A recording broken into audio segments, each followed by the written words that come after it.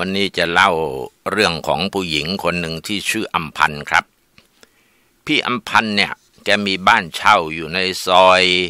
ฝั่งตรงข้ามกับสามแยกพระประแดง เป็นบ้านไม้มีหกห้อง สมัยนั้นค่าเช่าเดือนละหกร้อยต่อห้อง ก็ต้องจำกัดจำนวนคนแต่ละห้องให้อยู่กันได้ห้องละสี่คน เพราะห่วงว่าบ้านมันจะสุดโทรมเร็ว เป็นบ้านยกพื้นสูง แล้วต่อมาพี่อัมพันธ์เนี่ยได้ต่อเติมชั้นล่าง เอาไม้ราคาถูกๆมากั้นอีกสี่ห้อง ด้านหน้าขายข้าวเหนียวส้มตำได้ อ่า ใครที่จะอยู่ชั้นล่างก็ได้แค่ห้าร้อยมีห้องน้ำรวมสองห้องด้านหลังบ้าน ส่วนชั้นบนก็ต้องลงมาเข้าห้องน้ำชั้นล่าง สมัยนั้นค่าแรงผู้ชายวันละ 95 บาท ผู้หญิง 85 บาท ไม่รวมค่าโอที หน้าฝนในซอยนี้ก็น้ำท่วม แต่ก็ยังดีที่ว่าบ้านเช่าของพี่อัมพันเนี่ย ถมที่ไว้สูง พี่อัมพันเป็นคนขยัน พักอาศัยอยู่กลางซอย บ้านหลังเนี่ยเป็นบ้านไม้ พี่อัมพันซื้อต่อจากอาม่าแก่ๆนะคือตอนหลังอาม่าคนนี้ถูกแทงตาย เงินยังไม่ได้จ่าย ต้องรอคดีคลี่คลาย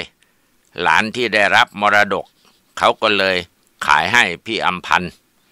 สมัยก่อนที่อาม่าอยู่บ้านหลังเนี่ยแกขายของช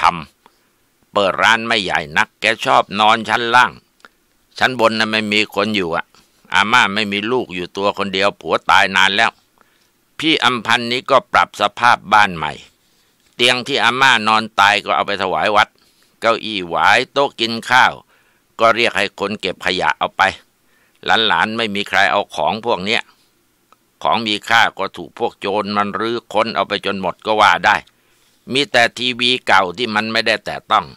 พี่อัมพันธ์ก็เก็บทีวีไว้ดู ที่ชั้นร่างนี่เปิดเป็นร้านอาหารอีสานจ้างญาติญาติมาช่วยสามสี่คน ในซอยนี้มีทั้งโรงสบู่โรงกุญแจโรงกลึง มีคนอีสานอาศัยอยู่มากมาย สมัยนั้นยังไม่มีพม่าเมื่อเปิดชั้นล่างนะเป็นร้านขายกับข้าวก็ดูไม่วังเวง ลูกน้องก็นอนกันที่ชั้นล่าง ส่วนพี่อัมพันธ์กับสามีนี่นอนชั้นบน สามีพี่อัมพันธ์เป็นผู้จัดการอยู่โรงอาไหล่รถยนต์ มีลูกชายคนผู้หญิงคนหนึ่งกำลังเรียนอยู่ชีวิตก็ปกติสุขดีเงินทองเหลือใช้ แต่ว่าคืนหนึ่งพี่อัมพันธ์ก็ฝันเห็นอาม่าเจ้าของบ้านคนเก่า แกบอกว่าแกจะเอาห้องนี้เป็นห้องพระ ไม่ให้พี่อัมพันธ์นอน ชั้นบนนะมีแค่ สองห้องนอน พี่อัมพันธ์ก็ฝันซ้ำๆอยู่แบบนั้น เสร็จแล้วก็บอกสามีว่าไม่ค่อยสบายใจ ห้องเนี้ยอาม่าเคยนอน สมัยที่แต่งงานใหม่ ๆ พระเจ้าอะไรก็ไม่ได้มี จะมีก็แต่เจ้าแม่กวนอิมกับตีจูเอียะที่ชั้นล่าง รูปปั้นเจ้าแม่ก็อยู่กลางห้องโถงตั้งตระงานอยู่บนโต๊ะไม้เก่าแก่ ตกลงพี่อัมพันธ์ก็ไม่ได้ย้ายไปไหน และพี่อัมพันธ์ก็ไม่กล้าขายเนื้อวัว ลูกค้าก็เรียกร้องจะกิน แต่สามีพี่อัมพันธ์บอกว่าเรามีเจ้าแม่กวนอิมอยู่ในบ้าน เราจะขายเนื้อวัวกินเนื้อวัวน่ะมันไม่ดี ก็เลยย้ายที่นอนออกมาที่ห้องโถง เอาพระแม่กวนอิมไปไว้ในห้อง พี่อัมพันธ์น่ะไม่ชอบนอนในห้องโล่งๆที่ต้องกางมุ้งนอนไม่หลับ ก็เลยเข้าไปนอนที่บ้านเช่าหลังในยังว่างอยู่ห้องหนึ่งเพราะว่าเพิ่งจะทำเสร็จ นอกนั้นก็มีคนมาจองมาอยู่กันแล้ว สามีพี่อัมพันธ์ก็นอนบ้านเก่าอาม่า เพราะว่าห่วงลูก แม้ว่าจะมีลูกน้องอยู่ชั้นล่างก็ยังห่วง พี่อัมพันธ์ก็เลยต้องมานอนคนเดียว แต่ว่าแถวนั้นตกเย็นก็จะคลึกครื้นคนเยอะ ซึ่งก็รู้จักกันดีทั้งนั้นคนในพื้นที่ เสร็จแล้วก็แบ่งบ้านให้เช่า เช่นเดียวกัน ก่อนนอนก็จะจับกลุ่มคุยกัน มีโต๊ะที่ต่อด้วยไม้เก่าๆหน้าบ้านลุงจิต โต๊ะหรือเตียงที่ทำให้คนนั่งใต้ต้นตักขบที่แผ่กิ่งก้านน่ะเป็นร่มอย่างดี แถมเวลาออกผลก็จะมีคนเก็บกินกัน หวานหวานหอมหอมตรงนั้นจะนั่งได้หลายคน เวลาตำส้มตำใส่ถาดก็มีขนมจีนไข่ต้มปลาทูทอด เม็ดกระถินแกล้มลุงจิตก็มักจะมานั่งกินด้วย แกชอบ แต่ว่าเมียแกไม่ชอบกินปลาร้า พี่อัมพันธ์น่ะไม่เหงา ใครๆก็รู้ว่าพี่อัมพันธ์มีเงินทำมาหากินเจริญ ก็มีแต่คนสรรเสริญเยินยอทักทายด้วยดีทำให้พี่อัมพันธ์มีความสุขที่อยู่ที่นี่ จนมีอยู่วันหนึ่งเป็นวันอาทิตย์ พี่อำพันธ์ก็จะขายของเฉพาะช่วงเช้า ไม่ขายถึงบ่ายเหมือนกับวันอื่น เพราะว่าโรงงานหยุดลูกน้องก็จะได้พักเต็มที่ได้นอนตั้งแต่เที่ยงหรือใครจะข้ามไปตลาดพระประแดงก็แล้วแต่ตามสบาย พี่อำพันธ์ก็จะมานั่งกินส้มตำกับคนรู้จักอยู่ที่หน้าบ้าน ลุงจิตที่อยู่ตรงข้ามกับบ้านเช่าของพี่อำพันธ์ก็มานั่งกินอยู่ด้วย บริเวณที่ว่านี้เป็นที่ท้ายซอย รถราไม่ค่อยพลุกพล่านเหมือนกับบ้านหลังนอก พวกกระถินตำลึงในมีเป็นดงเลย ก็ได้กินกัน ทั้งยอดทั้งฝัก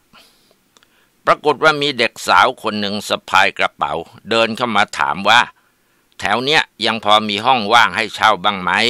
เพิ่งจะมาจากบ้านนอกจะมาหางานทำเดินหาหลายที่ก็เต็มหมดแล้ว พี่อัมพันนึกสงสารก็เลยบอกว่า พักกับพี่ไหมล่ะ พี่เก็บแต่ค่าน้ำค่าไฟเดือนละร้อยห้าสิบไม่ต้องจ่ายค่าเช่าหรอก เด็กสาวก็ดีใจที่มีคนให้ที่อาศัยโดยไม่ต้องจ่ายค่าเช่าก็ตกลง พี่อัมพันก็พามาที่ห้อง เด็กสาวคนนี้มีชื่อเล่นว่านาง พี่อัมพันธ์ให้เอาของมาไว้ แล้วก็ชวนไปกินขนมจีนส้มตำกัน นางก็ดีใจมากไหว้ขอบคุณพี่อัมพันธ์ทุกคนที่นั่งอยู่หน้าบ้านลุงจิตก็ทักทายด้วยดี นางก็รู้สึกอบอุ่น ก็มีคนบอกว่าจะฝากงานที่โรงสบู่ให้ ตอนเนี้ยเขารับคน ยิ่งกะกลางคืนก็จะมีค่าโอค่าง่วง เพิ่มให้นอกเหนือจากค่าแรง ค่าโอเดือนละสามร้อยบาท นางจะเอากะกลางคืนหรือเปล่า สมัครเช้าในเย็นไปทำได้เลย นางก็บอกว่าเอาจ้าได้เพิ่มทั้งสามร้อยพอเย็นอีกวันหนึ่งนางก็ได้ไปทำงานที่โรงสบู่ เดินไปพร้อมกับคนงานคนอื่น ที่เขาทำกะกลางคืน เช่นเดียวกันก็มีอยู่หลายโรงอัมพันก็รู้สึกเอ็นดู ที่เด็กสาวที่ชื่อนางเนี่ยขยัน ก็เอาหมอนเอาที่นอนปิกนิกเอามาเผื่อ ตีหนึ่งพี่อัมพันได้ยินเสียงคนเคาะห้อง เคาะแทบทุกห้องเลย บางคนเปิดประตูดูก็ไม่เห็นมีใคร ก็บ่นว่าใครมาเคาะว่าดึกดึกเดินเดินกำลังนอนสบาย พี่อัมพันเนี่ยได้ยินชัดเจน ห้องไม้มันเก็บเสียงไม่ได้ แต่พี่อัมพันธ์ก็นอนต่อ ก็มีเสียงมาเคาะที่ประตูห้องอีก แต่พี่อัมพันธ์ไม่ได้เปิดประตูไปดูแต่ลุกมาเคาะตอบออกไป แล้วก็พูดบอกว่า ใครมาเคาะเนี่ยรีบไปเลยนะ อย่ามาล้อเล่นนะ ถ้าเป็นโจรก็อย่ามาเคาะให้เสียเวลาเลยไม่มีเงินมีทองให้ปล้นหรอก พี่อัมพันธ์ก็พูดเสียงนั้นก็เคาะอีกสองครั้งแล้วก็เงียบไป พี่อัมพันธ์ก็นอนต่อ หลับไปก็ตื่นตีสามปวดฉี่แล้วก็เกือบจะได้เวลาไปจ่ายตลาดแล้ว ก็ลุกไปจะไปเข้าห้องน้ำข้างนอก เพียมพันนี่เป็นคนไม่ได้กลัวอะไร ผีสางไม่กลัว นะไฟหน้าบ้านก็สว่าง แกก็ไปเข้าห้องน้ำทำธุระส่วนตัวเสร็จอาบน้ำแล้วก็เดินออกมา กะว่าตีสามครึ่งลูกน้องจะมารับไปตลาดด้วยกัน ก็ต้องเดินผ่านบันไดชั้นสอง ซึ่งก็มีแสงสลัวสลัวที่มุมนั้น ไม่ได้สว่างจ้าเหมือนกับหน้าบ้าน ก็เห็นผู้หญิงแก่คนหนึ่งโพกผ้าแต่งตัวเหมือนกับชาวนาตามบ้านนอก นุ่งผ้าสิ้นใส่เสื้อคอกระเช้า ใส่เสื้อขาวแขนยาวทับด้านนอก มานั่งร้องไห้อยู่ที่บันได พี่อำพันธ์ก็เลยถามว่านั่งร้องไห้ทำไมยาย ผู้หญิงคนนั้นก็หันหน้ามา เป็นคนแก่กินหมากปากเปรอะเชียว เสร็จแล้วก็บอกกับพี่อำพันธ์บอกว่า ยายมากับอีนางมัน มันอยู่บ้านไหนไม่รู้ ยายเดินตามมันมาในซอยเห็นคนเยอะ ขายของน่ากิน มีปิ้งไก่เหลืองเชียน่ากิน ยายก็มองดูเพลิน หันมาอีกทีไม่รู้อีนางมันไปทางไหนแล้ว ยายก็ตามหามันตั้งแต่เมื่อวาน คืนนี้ก็เคาะหามันทั่วแทบทุกบ้านก็ไม่เห็นมัน แต่ยายมีความรู้สึกว่ามันน่าจะอยู่หลังนี้ มันเหมือนกับได้กลิ่นตัวมันนี่ยายก็ไม่รู้จะไปทางไหนข้างนอกก็รถราเยอะไปหมด หลบแทบจะไม่ทันหน้าว่าเสียว จะกลับบ้านนอกก็กลับไม่ถูก เพียมพันก็บอกว่ายายจะตามหานางเขาทำไมอะ นางมันไปทำงาน ไม่เห็นมันบอกเลยว่ามันพายายมาด้วย เอ๊นางนี่เป็นคนยังไงนะ ทิ้งยายได้อะ ยายก็ร้องไห้ บอกว่า อย่าไปว่ามันเลย มันไม่รู้ตัวหรอกว่ายายตามมันมา มันเป็นหลานผู้หญิงคนเดียวในบ้าน ยายรักมันมาก มันไปไหนยายก็มักจะตามมันไปด้วย แต่ครั้งนี้มันมาไกล จะมาทำงานกรุงเทพยายก็ตามมันมา แล้วก็มาพลัดหลงกับมันจะกลับบ้านก็กลับไม่ถูก พี่อำพันธ์ฟังแล้วก็งง ถามว่ารถตกลงมันยังไงอะ่ะ หนูงงไปหมดแล้วอะ่ะ ยายตามมาแบบไหนทำไมนางเขาถึงไม่รู้ ยายก็บอกว่าถ้ายายบอกเองแล้วเองอย่าตกใจนะ ยายเป็นผีเชื้อในบ้านของมัน อีนางเนี่ยมันเป็นลูกของลูกชายยาย ร่างที่ยายเคยอาศัยอยู่นะ่ะก็คือพ่อกับแม่ของมัน ทีนี้ร่างนั้นนะ่ะถูกรถชนตายไปแล้ว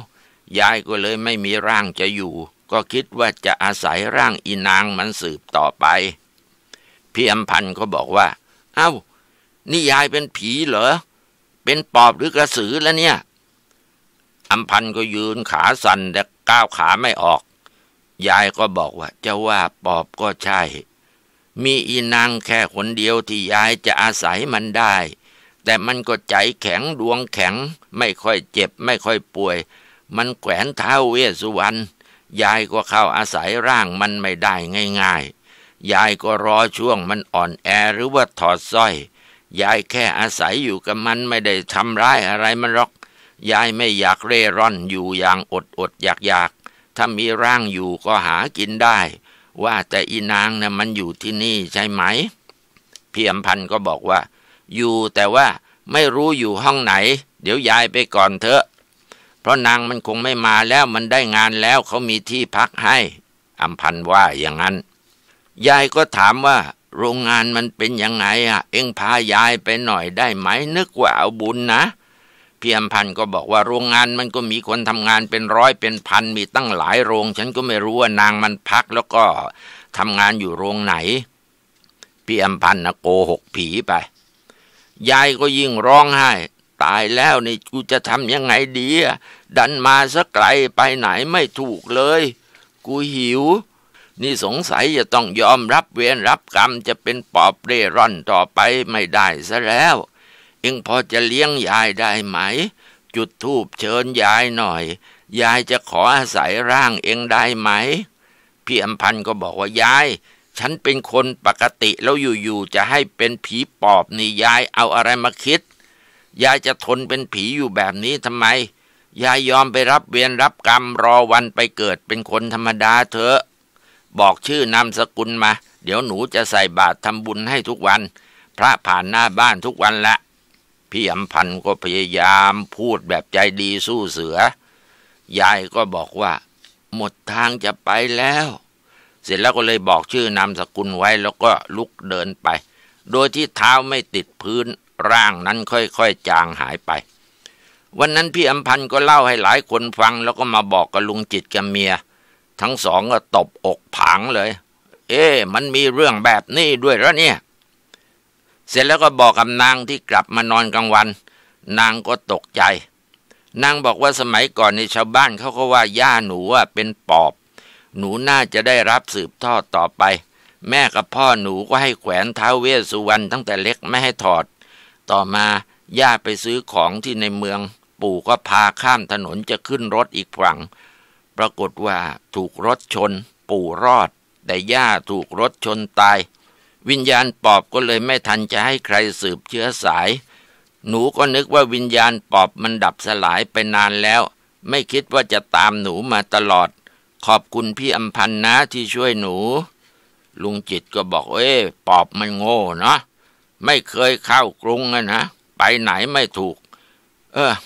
แบบนี้ก็ต้องกลับไปนรกนะละหมดเรื่องหมดราว แกหัวเราะจนเมียทุบหลังไปสองสามที เมียบอกว่าพูดเล่นไปเรื่องผีผีสังสาง ทุกคนก็หัวเราะ หลังจากนั้นเพียมพันก็ทำบุญให้เรื่อยมา โดยไม่เคยขาดเลยครับ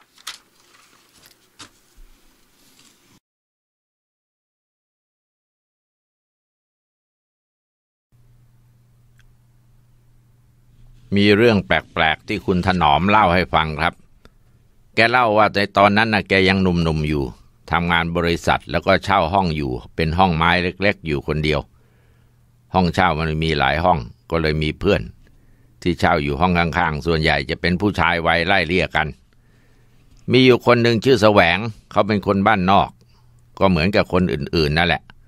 บ้านเขาอยู่จังหวัดลบบุรี เขาบอกว่าบ้านเกิดเขาไม่เจริญ สมัยนั้นน้ำก็ไม่มีไฟก็ไม่มี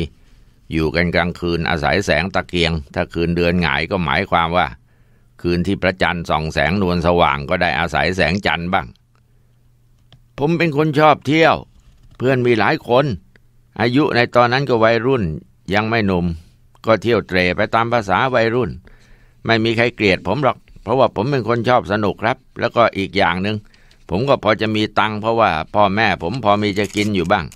ผมก็เลี้ยงพวกเพื่อนๆได้ แต่ไม่บ่อยนะ แต่ก็เลี้ยงอะครับ แต่ถ้าผมไม่ค่อยมีเงิน ผมก็ไม่กวนใจเพื่อน ไม่มีเงินก็ไม่เที่ยวซะก็หมดเรื่อง ถ้าไปก็ต้องกวนใจกระเป๋าคนอื่นนะมันไม่ดี เขาก็เป็นคนอย่างนั้นแหละ นิสัยเนี่ยตอนเช่าห้องอยู่เขาก็ทำเหมือนที่เขาเล่าแหละ เขาไม่เคยยุ่งกับเงินทองของคนอื่น แต่ถ้าเขามีเขาก็จะชวนไปกินนั่นกินนี่ เขาว่าตอนอยู่ที่บ้านน่ะเขาเที่ยวกับเพื่อนๆบางทีถึงสว่างก็มี ไม่มีรถมีราอะไรแม้แต่จักรยานก็ไม่ได้ใช้กันสองขาพาไปอ่าเดินครับไปไหนก็สองขาในพื้นที่ใกล้ๆ แต่ถ้าไปไกลๆก็ต้องไปกันเป็นคันรถ มีสองแถวในหมู่บ้าน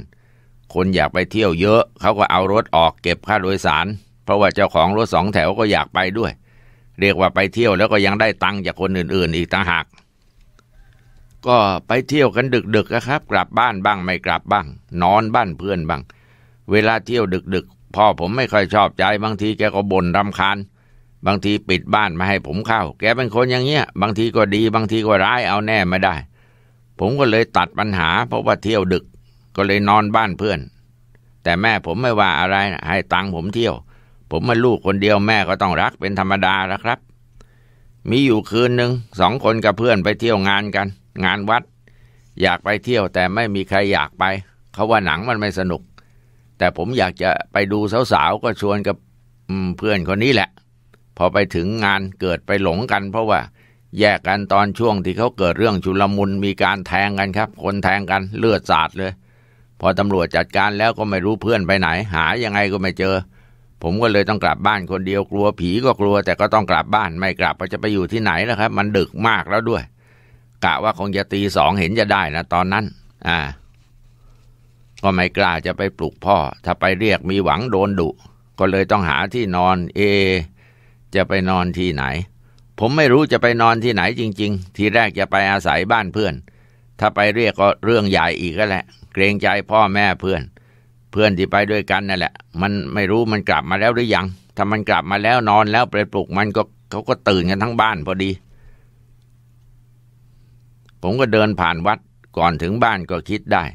นอนมันที่ศาลาวัดก็แล้วกันดีกว่าไปนอนข้างรั้วบ้าน อย่างน้อยก็อยู่สูง ไม่โดนงูเงี้ยวเขี้ยวขอกัดตายยุงยุงมันก็น่าจะน้อยกว่าด้วย ก็เลยนอนมันที่ศาลาวัดนั่นแหละนะมันมีศาลาท่าน้ำกับศาลาการประเรียนก็คิด เออ จะนอนที่ไหนดี ถ้านอนศาลาท่าน้ำก็อยู่ติดทางเดินเลย ต่ำเตี้ยด้วย หมาก็นอนอยู่นะเข้าไปมันเห่ากันลั่นเลย ก็เลยไม่อยากจะนอนกับหมา ไปศาลาใหญ่น่าจะดีกว่า ไอ้กลัวผีนะ่ะกลัวอยู่แล้วนะครับ แต่ก็มันจำเป็นแต่ไม่รู้จะทำยังไง อ่า ไอ้ที่ผมกล้า เพราะว่าเคยเป็นลูกศิษย์วัดมาก่อน สมัยเด็กๆช่วงที่น้าชายเขาบวช แต่ตอนนี้น้าศึกไปแล้ว บวชแค่สามเดือนช่วงเข้าพรรษา ยังไงก็ตามก็แข็งใจขึ้นไปนอนบนศาลาหลังใหญ่ นอนมันที่ข้างเสาจะได้รู้สึกว่ามีเพื่อน เอาเสาศาลาเป็นเพื่อน ด้วยความง่วงก็เอาแขนหนุนหัว พอหัวถึงแขนก็หลับนะเกือบจะพลอยหลับไปเดี๋ยวนั้นเลย แต่มันหลับไม่ได้ เพราะว่าหูได้ยินแววเสียงพระสวด บทสวดนั้นฟังดูมันคล้าย ๆ กับพระท่านกำลังสวดศพเลย สะดุ้งใจหายวาบเลยแต่พอลืมตาโพลงก็กลับไม่ได้ยินเสียงที่ได้ยินเมื่อตะกี้นี้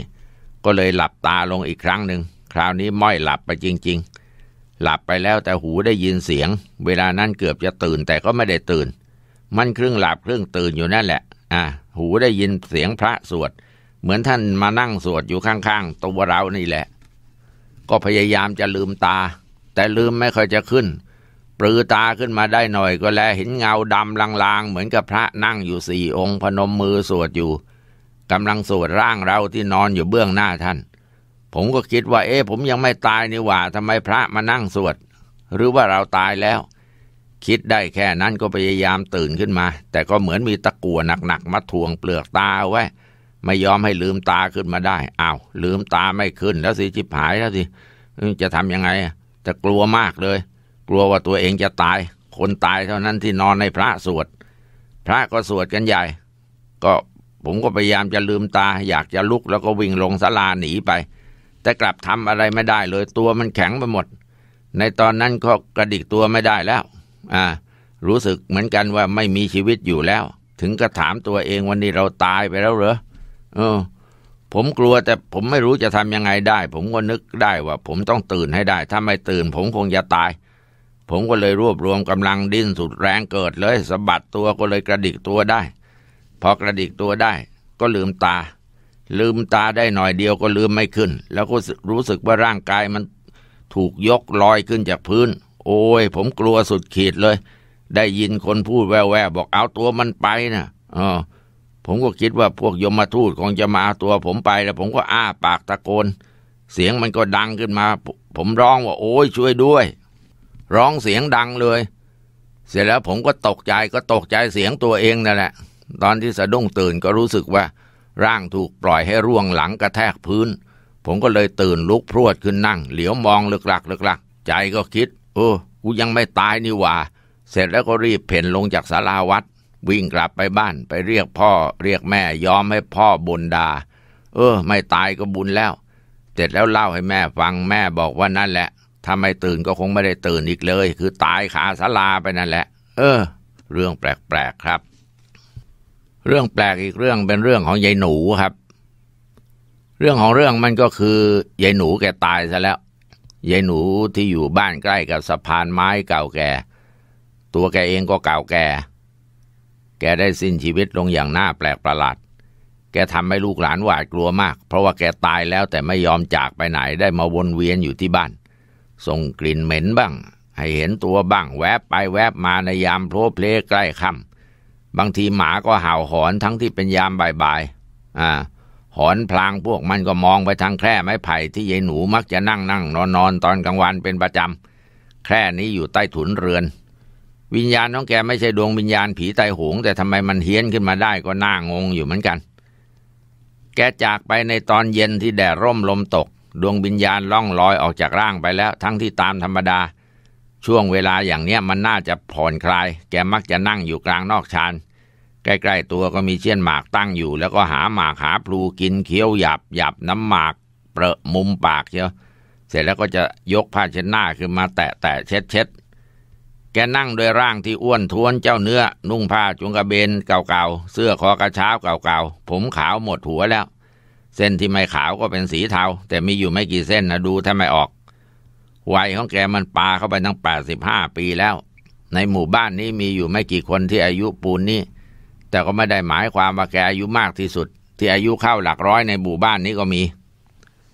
บ้านยายหนูนี่เป็นครอบครัวใหญ่ อยู่กันทั้งสองครอบครัว มีบ้านทรงไทยหลังใหญ่สองหลังปลูกหันหน้าเข้าหากัน ตรงกลางก็มีนอกชานกว้าง เปิดโล่งไม่มีหลังคา ปลายสุดของนอกชานเป็นครัวไฟ หลังคามุงใบจากปลูกไว้สองหลังคู่กันยายหนูมีลูกสาวสองคนแกอยู่กับคนโต ลูกสาวคนเล็กก็มีลูกดกมาก หัวปีท้ายปี ลูกเต้าเต็มบ้านนะเจ็ดคนหญิงสามชายสี่ต่างจากลูกสาวคนโตลิบลับเลยนะจะหาทายาทสืบสกุลสักคนก็ไม่มี ไม่ใช่ว่าเพิ่งแต่งงานไม่ใช่อย่างนั้น อายุอานามของลูกสาวและลูกเขยก็ล่วงเลยวัยกลางคนไปมากแล้วยายหนูแกเคยพูดกับใครต่อใครว่าไม่ห่วงใครแล้วตอนนี้บ้านช่องก็ไม่ห่วง ตัวเองก็ไม่ห่วงตายก็ไม่ว่าอยู่มานานเหลือเกินแล้ว ตาแก้วในล่วงหน้าไปก่อนซะตั้งหลายปีไม่รอกันบ้างเลย ป่านนี้คงจะไปเกิดแล้ว ไปดีเถอะตาแก้ว เกิดชาติหน้าก็มาร่วมทุกข์ร่วมสุขกันใหม่นะ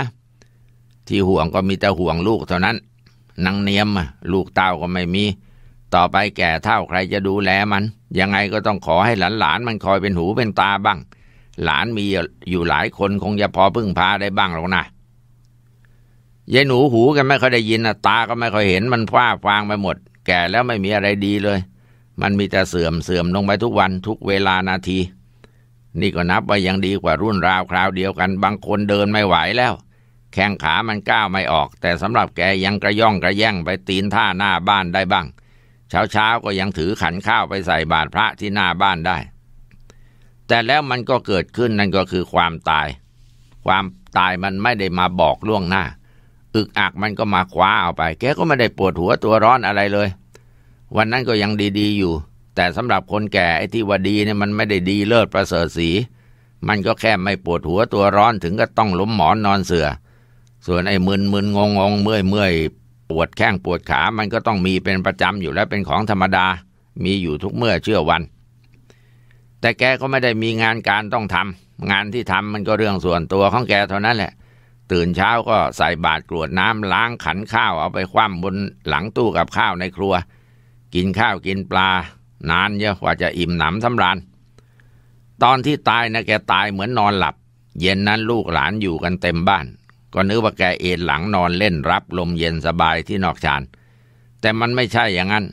จะค่ำแล้วแกก็ยังไม่ตื่นก็ไปปลุกกัน แต่แกตัวเย็นชืดไปแล้วอะแกตายง่ายง่าย อ่าไม่ได้เจ็บปวดร้องโอดโอยแต่อย่างใด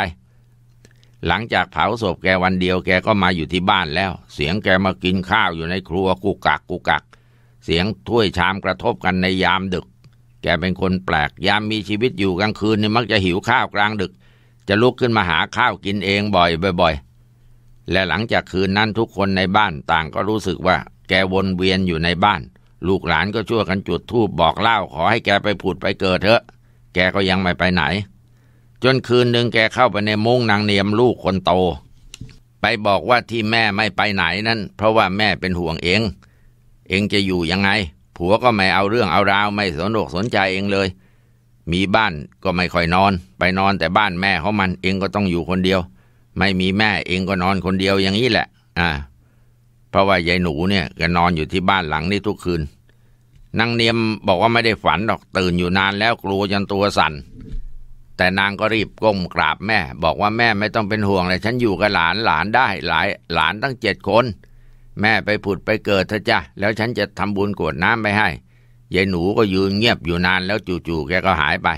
แล้วหน้าแปลกมากตั้งแต่คืนนั้นแกก็ไม่มาให้เห็นหรือว่ามารบกวนอีกเลยละครับ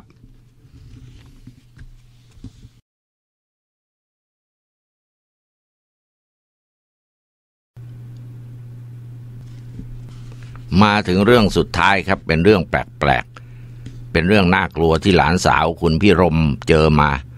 เพราะว่าไปเช่าบ้านก็อยู่ที่ย่านตลิ่งชันกรุงเทพ ทีแรกก็ไม่รู้กันหรอกสองคนกับแฟนก็เช่าบ้านทาวน์เฮาส์หลังนั้นที่ไหนได้ บ้านนั้นนะมีประวัติไม่สู้ดีมาก่อน ก็อยู่กันแค่สองคนจริง ๆ แล้วก็ไม่น่าจะไปเสียเงินเช่าบ้านที่นอนได้สักสิบคนเนี่ยเงินมันก็หมดเนี่ยค่าเช่ามันแพง เห็นบอกว่าความตั้งใจจะให้เพื่อนมาอยู่ด้วยช่วยกันออกค่าเช่า ทีแรกก็ตกลงกันอย่างนั้น แต่พอเช่าไปแล้วเพื่อนไม่มา ก็เลยต้องอยู่กันไปก่อนอ่ากำลังคิดหาห้องเช่าอยู่พอดีก็เจอสิ่งแปลกประหลาด ปรากฏว่าไฟดับเอาดื้อๆเป็นประจำเลย บ้านข้างๆก็สว่างจ้าแต่ที่บ้านนั้นดับ พอดีแฟนหลานก็พอมีความรู้เรื่องไฟฟ้าอยู่บ้างก็แก้ไขได้เขาก็บอกไม่ได้เป็นอะไรหรอกไม่มีตรงไหนเสียมันดับของมันเอง แล้วก็ติดของมันเองอีกด้วย วันหนึ่งหลานสาวอยู่บ้านคนเดียวแฟนยังไม่กลับเพราะไปกับเจ้านาย ประมาณตีหนึ่งได้ยินเสียงเปิดประตูก็นึกว่าแฟนกลับมาแล้วก็ลงไปดู ไม่เห็นใครสักคนเดียวประตูบ้านประตูรั้วก็ปิดอยู่ มันทำให้แกงงก็รีบโทรไปหาแฟนถามว่าเขาอยู่ไหน เขาบอกกำลังขับรถกลับมาแล้วใกล้จะถึงแล้วอีกสองสามกิโลเมตร เอ๊ะ อะไรกันเนี่ย เออ ก็เล่าให้แฟนฟังเขาไม่เชื่อ แถมแถมยังบอกว่าฝันไปว่างั้น อีกสองสามคืนต่อมา หลานสาวของแกคนเนี้ยไม่อยู่อะทำงานล่วงเวลา หลานเขยกลับมาบ้านก่อน อาบน้ำอยู่ในห้องน้ำอาบอาบอยู่ไฟดับพรึบอยู่ในห้องน้ำต้องรีบรีบอาบแล้วก็ออกมา พอออกมาปุ๊บไฟก็สว่าง ถามเพื่อนบ้านว่าเมื่อตะกี้ที่บ้านไฟดับหรือเปล่า ก็ตอบว่าเปล่า เออแปลกพอหลานสาวกลับมาเขาก็เล่าให้ฟัง หลานสาวก็กลัวนี่ไม่กล้าอาบน้ำกลัวไฟดับมืดตื้อต้องให้แฟนไปนั่งเฝ้าหน้าห้องน้ำตกดึกคืนเดียวกันทั้งสองก็ตกใจตื่นเพราะได้ยินเสียงผู้หญิงผู้ชายทะเลาะกันเสียงลั่นเลยททีแรกก็นึกว่าคนข้างบ้านเขาด่าทอกัน แต่พอฟังให้ดีๆ ก็พบว่ามันดังอยู่ในบ้านนะอยู่ชั้นล่างนี่แหละอ้าวใครมาด่ากันในบ้านเราล่ะ เปิดประตูลงบันไดไปดูกันทั้งสองคน ผัวออกหน้าเมียตามหลัง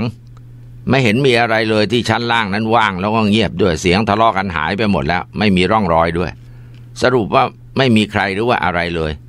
เงี่ยหูฟังข้างๆบ้านก็ไม่ได้ยินเสียงโต้เถียงอะไรกันเลย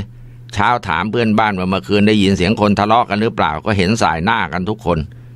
ก็เลยใจคอไม่ดีกันทั้งสองคนพยายามสอบถามคนแถวนั้นว่าบ้านนี้เคยมีคนตายไหมหรือว่ามีผีไหมไม่มีใครบอก แต่ท่าทางเหมือนกับเก็บซ่อนปิดบังอะไรบางอย่าง มีบางคนย้อนถามว่าเจออะไรอะสองคนก็เลยเล่าให้ฟังจนหมดว่าเจออะไรกันมาบ้าง